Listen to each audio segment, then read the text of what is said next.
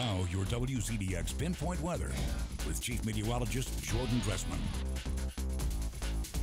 Rain moved through the Tennessee Valley early this morning. We got a little bit of a break, then some showers and thunderstorms moved through the Tennessee Valley during the later part of the afternoon, early into the evening.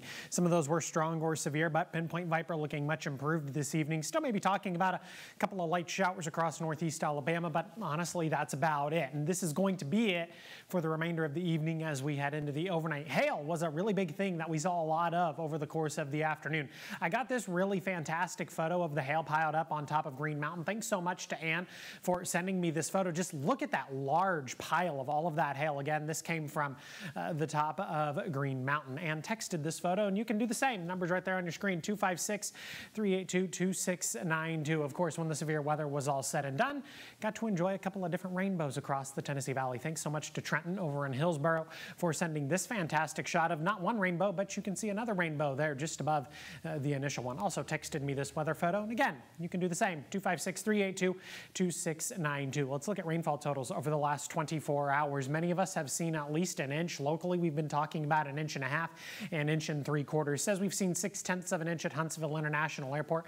I think we can go ahead and bump that number up just a little bit. These are radar estimates, so they're not exactly 100% accurate. As far as the rain we've seen so far in the month of April, 2.77 inches over at Huntsville International Airport. And to be quite honest, we need a lot more as far as an average April is concerned. Normally, we would get right around 4.32 inches, and I don't really have a lot of rain in the forecast. To be quite honest, it doesn't look like we're going to get to 4.32 inches before May arrives. And don't forget, May arrives a week from today.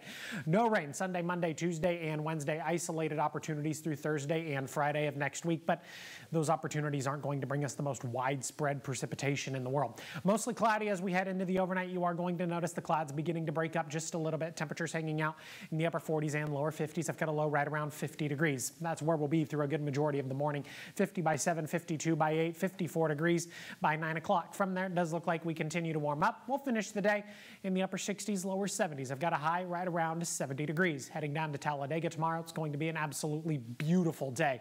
71 at 1 o'clock. Race starts at 1 o'clock, by the way. 73 by 4 p.m. 68 by the time they get to the middle part of the evening. Then we get to Monday and look at the warmer air I've got for you across the Tennessee Valley. Monday afternoon highs, upper 70s and lower 80s. And that's not the only day. We're going to be talking about temperatures in the upper 70s and lower 80s. As a matter of fact, I've got 83 for your Tuesday, 81 both Wednesday and Thursday. Now it does look like a cold front's going to move through the Tennessee Valley by the time we get to Friday and Saturday of next week. Still a lot of questions associated with that cold front, so expect the seven day forecast to be somewhat fluid by the time we get to the later part of next week. Kelly?